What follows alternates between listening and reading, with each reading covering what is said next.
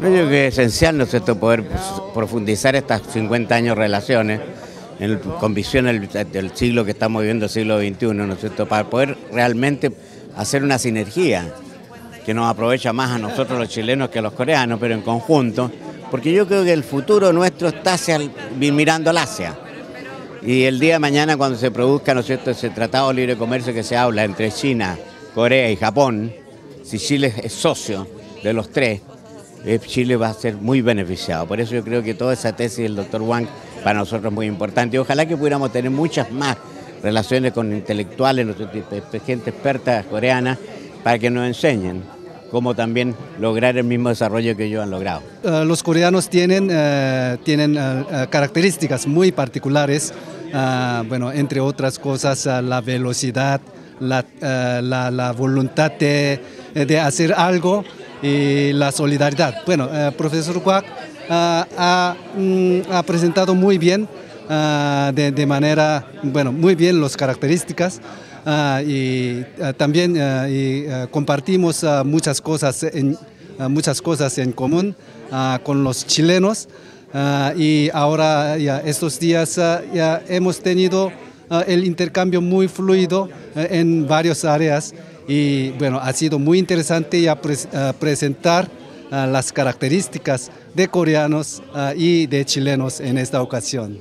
Yo creo que es muy fácil, aumentando el comercio, aumentando el conocimiento entre las naciones, porque en la medida que nosotros tengamos más actividades culturales y que nos conozcamos como cultura, vamos a poder desarrollar mucho más nuestra relación comercial, nuestra relación de amistad.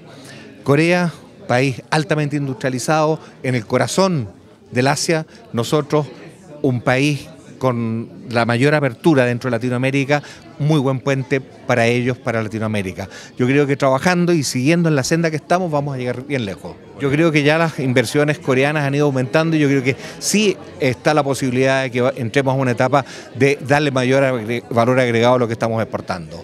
Ahora necesitamos tecnología, Corea nos puede aportar tecnología eh, y tenemos las materias primas y uniendo esas dos cosas acá con un, yo diría, con una fuerza laboral educada, trabajadora, podemos llegar lejos, más allá de lo que es la minería solamente. Corea queremos que ser chico y fuerte.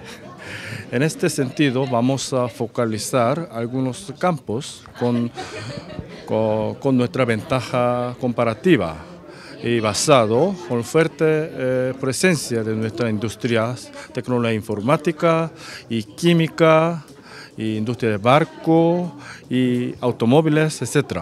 Basado en este, vamos a, transformar nuestra industria hacia economía de conocimiento con más valor agregados hacia uh, el mercado globales. Entonces, el Corea es más abierto que antes, entonces vamos a tener más oportunidades para crecer juntos entre dos mundos, eh, como unas plataformas en cada continente, Corea y Chile. Entonces hay mucho que hacer entre nosotros. Chile es un país que produce recursos naturales también que puede poner valor agregados en sus recursos naturales. Aún en este mundo hay muchos países que solamente exportan uvas, pero Chile produce vinos hay muchos países que solamente exportan piedras con un por ciento de cobre, pero Chile exporta 99% de, ¿cómo se llama? Cobre cathlite, ¿sí?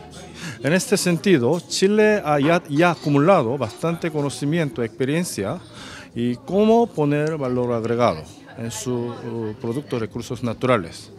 En este sentido, eh, las prácticas de Chile sí, sigue siendo muy útil para los otros países un poco atrasados, incluso los países en Asia. Crear una cadena es muy importante. Sí, muchos países y tiene, toma mala política como tiene tanta obsesión, de producir los productos finales solamente, sin crear su cadena de producciones.